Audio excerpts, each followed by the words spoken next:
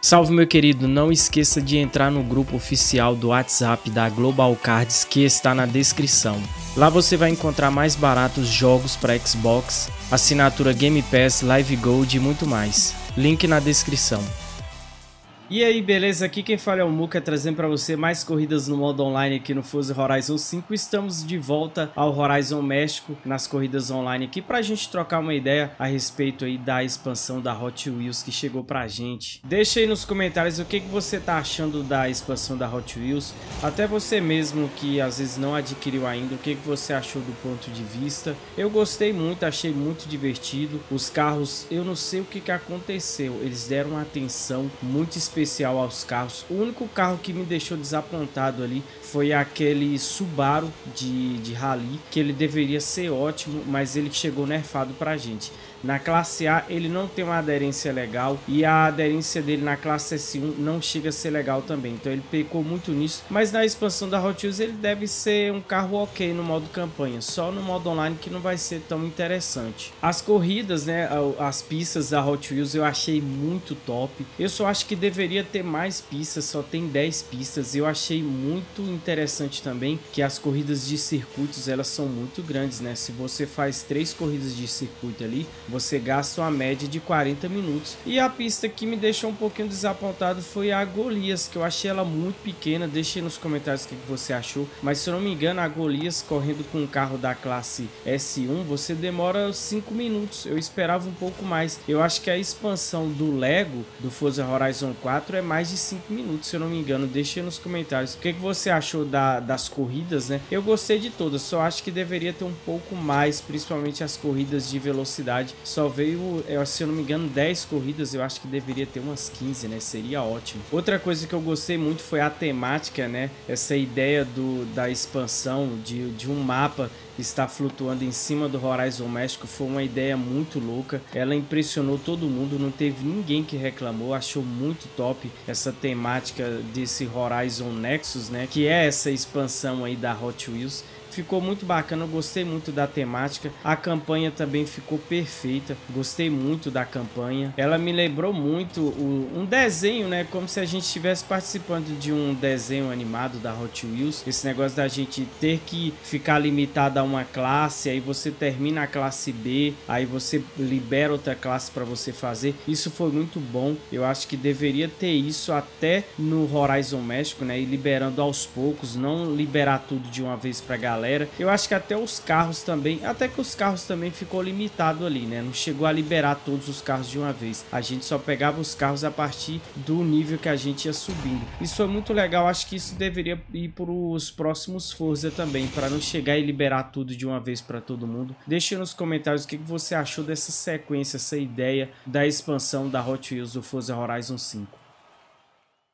Vamos para mais uma corrida online agora de Lamborghini Centenário, naquele esquema que a gente gosta, inclusive teve um canal grande aí que pediu para mim explicar para ele como que cria esse modo aqui e provavelmente já está tendo conteúdo desse pessoal fazendo dessa forma que a gente já faz desde o Forza Motorsport, né? Todo mundo correndo com o mesmo carro para dar aquela pegada mais competitiva ali, para você ver como que tá seu nível de jogador comparado com outros, né? Porque muitas vezes você tá com um carro que é muito rápido, aí você é, tem outra pessoa que tá com outro carro, aí você não sabe se realmente você está tendo uma habilidade boa ou se é porque o seu carro é muito bom. Então esse modo aqui dá para você saber como que está o seu nível de jogador jogando dependendo do, da galera que tá na sala também. Mas essa experiência online aqui ainda precisa melhorar e muito, né? E por falar em experiência online, na expansão da Hot Wheels, a gente teve uma certa surpresa que pode ser desagradável para muitos jogadores. Eu não achei muito interessante. Foi quando eu terminei o modo campanha. Quando eu fui pro modo online, a gente é, ficou de cara, porque os carros AWD, que são a maioria que tem aqui no jogo, que são mais equilibrados, os carros tração traseira traseira aqui no Forza eles não são equilibrados. Eu acredito que eles são bugados. Eu acho que deveria ter um certo equilíbrio, porque tipo assim, a diferença de um, daquele Jaguar pelão pro Koenigsegg é muito grande. E de um Koenigsegg para um Toyota Supra tração traseira é imensa também. Então eles não têm um certo equilíbrio. Então eles acabam que é tipo assim, quem pegar o melhor que vai ganhar. Então eu acho que os carros AWD, principalmente na classe A, quem acompanha as nossas lives da Twitch vê que são carros que sempre estão ali juntos. Só vai perder quem não tem experiência ou quem erra mais. Então é bem mais equilibrado os carros AWD e os tração traseira na expansão da Hot Wheels,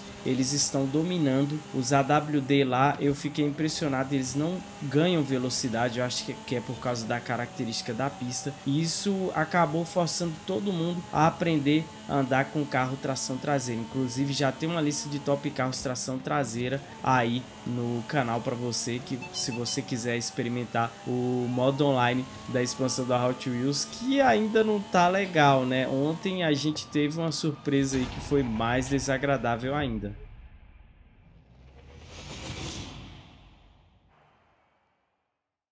Cara, pra surpresa da gente que faz lives todos os dias aí na Twitch, jogando com a galera, pra quem gosta de experiência online no Forza, o, a expansão da Hot Wheels, é, o modo online, né, experiência online, não tem praticamente ninguém. Se você entra lá, tem simplesmente os jogadores que estão aprendendo, né, que, é, que estão terminando a campanha. Aí entra lá no modo online da expansão da Hot Wheels e tem a surpresa que me deixou impressionado. Os carros AWD não andam nada nada, só tração traseira. Aí, tipo assim, é, pelo menos na classe S1, a gente tem três opções de carros. A gente tem o Jaguar, que eu acho que é o do celeiro, que é mega pelão. Aí depois do Jaguar, não tem nenhum carro que tem nível que chega próximo do Jaguar. Aí o mais próximo ali, eu acho que é o Koenigsegg, que tem um abismo entre o Koenigsegg e aquele carro Honda NSX, é o, o GT lá, o, o, GTR, eu acho que é assim pronuncia. Você sabe qual que é, que é muito difícil de comprar no leilão. Então tem um certo desequilíbrio. Aí, tipo assim, às vezes você quer pegar um carro que nem essa Ferrari aqui, ela ganha corridas online, por incrível que pareça, no Horizon México. E tem vídeo aí no canal desse carro ganhando corridas. Se você levar esse carro aqui para a expansão da Hot Wheels, sem chances nenhuma. Mesmo você que gosta de correr com os carros RWD, chega uma hora que você quer pegar um carro diferente. Porque não é possível que você vai ficar dois anos andando com três carros diferentes, né? Sendo que eles têm uma diferença de, de desempenho de volta de pista absurda, né?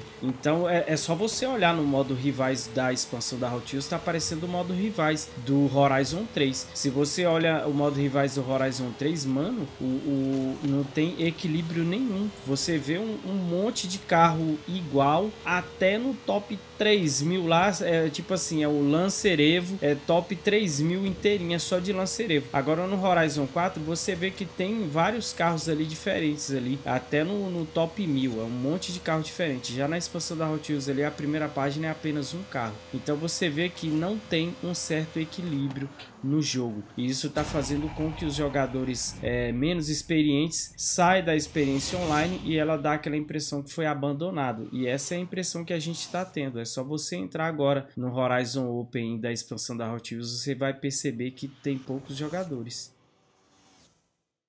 Aí você me pergunta, vale a pena comprar a expansão? Sem dúvida nenhuma, vale a pena. A expansão é muito top, tem muito conteúdo bacana. Por 71 reais para quem já tem a Game Pass, eu acho muito barato. Inclusive lá na Global Cards você encontra essa expansão por um preço melhor do que lá na loja da Xbox. O pessoal aqui do canal já é acostumado a comprar lá. Tem um grupo da Global Cards onde a galera sempre tá ali discutindo sobre o Forza, né? Além de ser um grupo onde você pode adquirir jogos para Xbox, você pode trocar uma ideia com a galera a respeito do Forza Horizon, alguma coisa que falta ali, ou até mesmo fazer um comboio, quem sabe, né? É só entrar, o link tá na descrição aí. Então, mano, eu acredito que sim, vale muito a pena, porque é, um, é praticamente um jogo, né? Se você for comparar essa expansão da Hot Wheels com aquele jogo, o próprio jogo da Hot Wheels, essa expansão tem muito mais conteúdo, tem muito mais diversidade, é muito mais bonito. Eu achei mais bonito até do, do que o Horizon México, né? Depois que você fica uma semana ali na expansão expansão jogando direto e você vem pro Horizon México, você vê que lá é muito bonito,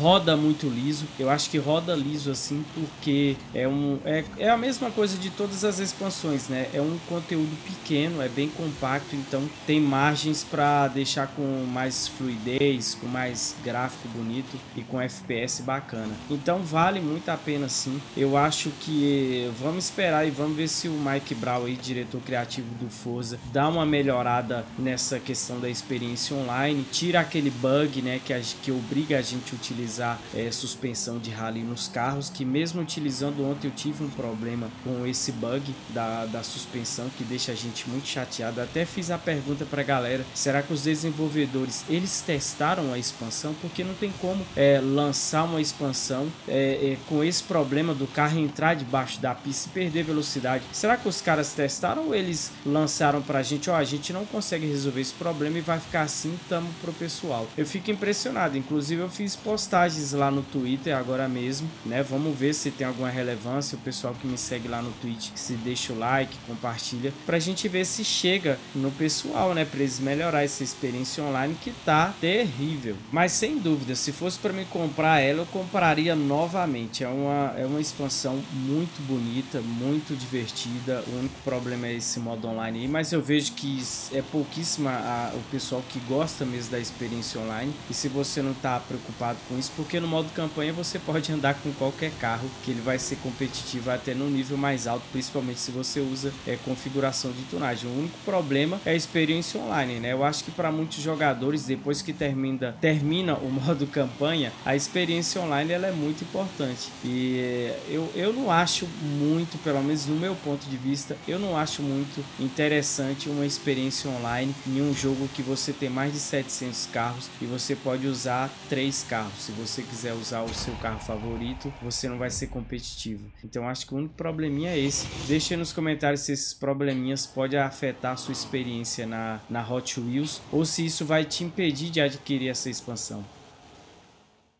Vamos finalizar de classe B, corrida online de golfão aqui com a galera. Se você não me segue na Twitch, o link tá na descrição. Lá você pode correr com a gente, trocar uma ideia, beleza? Todos os dias, a partir das 9 horas da noite, eu estou começando a fazer lives na Twitch. É só me seguir lá, fechou? E tem a postagem nossa lá no Twitter. Se você me segue lá no Twitter, não esqueça de deixar um joinha lá para dar uma força nas publicações que a gente tá fazendo aí para os desenvolvedores do Forza. Olha só, o modo rivais, como muitos esperavam aí, não vai ser resetado, pelo que eu entendi é, do suporte do Forza. O modo rivais não vai ser deletado. A única coisa que surgiu, né, para amenizar esse probleminha aí, é que você pode denunciar alguma atividade suspeita no modo rivais. Mas, mano, a gente tem até o top 3000 de atividade suspeita nos, no modo rivais. Quem vai ficar denunciando um por um, eu não sei. Eu acho que essa opção deveria ter lá no início do jogo. Aí sim, né? Se alguém visse alguma atividade suspeita, a gente denunciava. Mas agora sem chances de fazer esse tipo de coisa. Hoje deve sair alguma atualização aí pra galera que é do PC, que tá tendo problemas de instabilidade. Eu tô vendo que o pessoal tá reclamando que o jogo tá crashando. Alguns jogadores estão perdendo progresso, então hoje deve sair uma atualização. E por falar em perda de progresso, a partir desse update 10, a gente vai ter um backup